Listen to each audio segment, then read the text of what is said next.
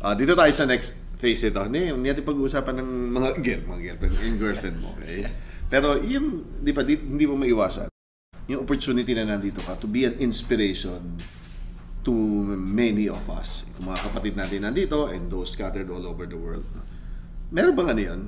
I always ask this to yung mga athletes natin. Is there a is there added pressure for you to win, for you to to do well pag alam mo na yung buong bayan sumusunod sa iyo at yung buong bayan ng wish is nothing but success para sa iyo. Siyempre naman, kasi kahit anong sport, kahit if it's racing, basketball, just any sport in general, I think meron talaga yung, yung pressure. Pero I think the most important for me, for example, is that I don't think that anyone can put any more pressure than I do on myself. Ah, yan ka talaga, no? So I think that way that takes away all the pressure from anyone else, the outside, because of course naman you can't always have a good race, you can't always have a good day. There's ups and downs. So I think you you kind of have to see through that and just be consistent and if you feel parang you gave 110% on the racetrack there's no reason to feel bad and there's no reason to mind what anyone else is saying because you gave it your all, diba? I mean, if there's nothing left, then kahit anong sabihin yung mga media, uh, yung mga other drivers or, or your team, as long as you felt like you gave your best, then there's nothing At more. peace you ka na. Yeah, you feel at peace. So, Y- yun naman ang yun naman ang habol mo dito eh, 'di ba? You perform, alam mo na ginawa mo lahat, pin-prepare ng team mo. Last year nga natutunan ko sa iyo nung dinala niyo rito yung yung mga gamit and, and the the whole staff that yung yung kasama mo grabe doon ako bumili no it's it's more than just parang a basketball team kasi imagine mo lahat yun yung gulong may taga-check yung makina yung yung flaps mo eh may flaps ba tawag doon yung yung, yung Yeah, pag guma- di ba yung flaps tawag check nila lahat yan and they won't let you off the pit until it's already. yeah. Yung, yung yung to be able to put your life no sa sa kamay ng ibang tao that takes trust no Yeah, you need parang a, a real sense of trust with your your your mga engineers. Kasi yung parang yung stereotype ng karera is individual sport siya. Kasi yung mga tao nakita lang isa lang yung yung driver sa kotse, 'di ba? Pero sa sa sport natin, it's really a team sport because we have almost more than five people, including the driver, working on the one car. So it takes five people to run the car, it takes five people to analyze the car, it takes five people to make it race around the racetrack.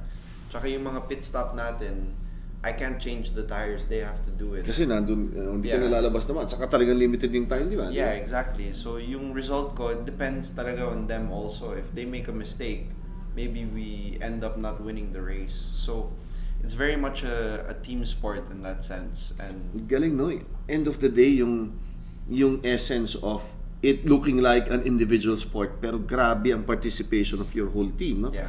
when you say a team talagang team siya dyan imagine lahat ng attention to detail lahat yon sama-sama and then it goes parang each channel lahat nila papunta dun sa driver who now Yeah. has control of of yung uh, steering uh, the, the steer no yeah. ikaw na lahat doon. Imagine mo, each channel mo yun, apat na yun.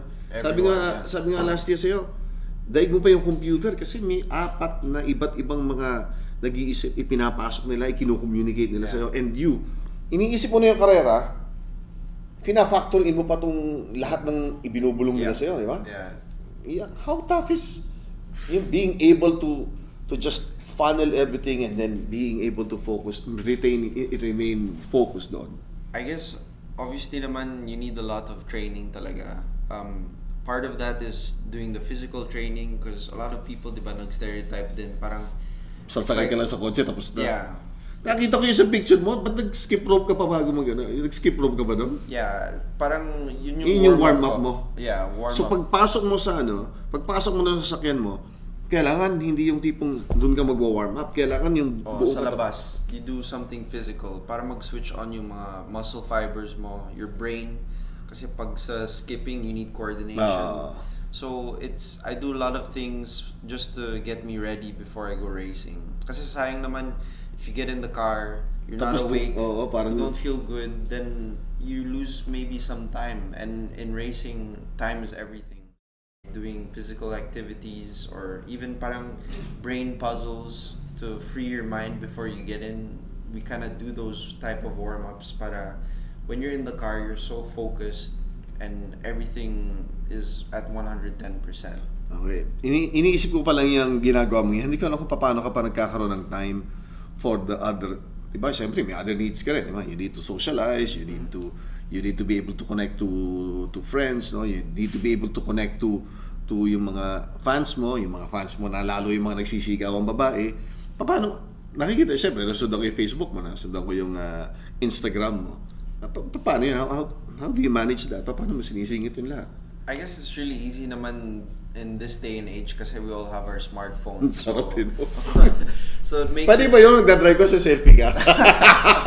May selfie bangga, bangga ang abutin mo doon. Pero being able to connect, gano'n ka-importante sa'yo dito sa day and age na? No? And- That's important talaga kasi yung problema lang, yung karera ko, dap, it's always sa labas ng Pinas. I don't get to I don't get to race here at home, unfortunately. I did in go-karts, pero yung go-karts naman, it's not as popular, it's not as prestigious as formula racing. So, my way of trying to show the Filipino community, the fans, everyone involved in motorsport, what I'm doing is through social media. So, it's very important to use Facebook, Instagram, Twitter to parang send that message across and keep people up to date with all my races. Kasi sayang naman if if I don't say anything or if Saka I yung don't connection do eh, no? anything. Yeah. Yun ang importante. And for them to be able to feel, ito yung ginagawa nito, di ba? Parang, kumbaga sa ano, how, how, how Manny Pacquiao grew into such a phenomenon.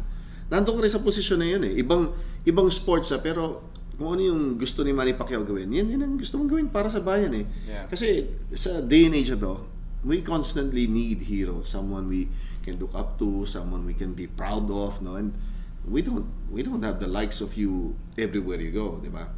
Ngayon, sa mo na Facebook, Twitter, lahat yan. Anong ginagamit mo? Papa, may globe ba sa abroad? ha? Ah, Yeah. naka-roam ka. So, anytime yan, pagkakaya mo. Kasi, alam mo, importante yan, ha, yung, no, katulad nung nag-skip rope ka. Ako ngayon ko lang nakita, sabi ko, bakit nag-skip rope to si Marlon? Eh, naka-ano ka na eh. Naka-suit ka na eh, di ba? Yeah, half suit then half gym clothes para ano. I feeling ko that's more to just get in the zone kasi pag sinuot ko yung suit ko, ah, feeling ko na okay, eto na, laban, let's go. So it's like putting your armor on, 'di ba? Like we're gonna fight today and that's just and taking the photo is just a way of like showing people parang what I do behind the scenes. It's not all about just getting in the car. Oo parang may eh. process yan. It's before you get in the car, what do you do? It's it's how you prepare yourself, how you talk with the engineers. There's a lot more. So parang that was just a small piece of like what the experiences of racing abroad. And it's cool kasi eh, all the social media that is being handled, I do it myself. So lahat yung mga fans, the people who follow, they're communicating with me. I see all the messages. I message them if I can. Kita ko nga eh. Oh, ang sipag mo yan. eh. Eh, wala, It's wala all kang assistant eh, di ba? They solo ka. So, No, so- you still find time to, to yeah, I to try them. and find time because that's the most important. Like what we're doing with Globe, with the past events with Slipstream, it's just to give back to our kabayan. You know, it's to show them like, hey guys, we're not just keeping the racing cars there. We want to come here to the Philippines, exhibit you know the talent you know of a Filipino racing driver and and exposing them to that motorsport atmosphere. It's really to give back and to just you know be proud of what we're achieving talaga.